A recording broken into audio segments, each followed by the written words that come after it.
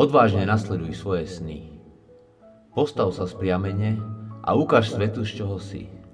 Keď ťa porazia, nájdi dôvod, aby si sa znova postavil. Nikdy sa nevzdávaj. Skúšať znova a znova a skúšať ešte raz. Tvoju myseľ musia ovládať myšlienky úspechu, nie zlyhania. Pamätajte, jediný spôsob, ako môžete zlyhať, je vzdať sa. Za každým, keď zlyháte, ste o krok bližšie k úspechu. Nebojíš sa, si odvážny, nie si slabý, si mocný. Nie si obyčajný, si pozoruhodný. Neustupuj, nevzdávaj sa. Keď sa pozriete späť na svoj život, nelutujte. Veríš v seba, veríš vo svoju budúcnosť a tak nájdeš svoju cestu.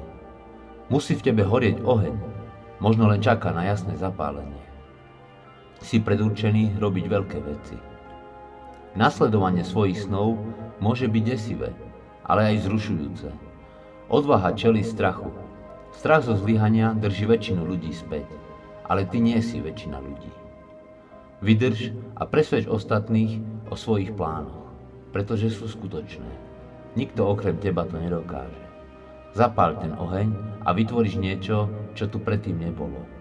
Je to odvážne, je to krásne a si to ty. Dajte zo seba to najlepšie a vaše sny ožijú. Úspech je váš. Nasleduj svoje sny. Si na rade.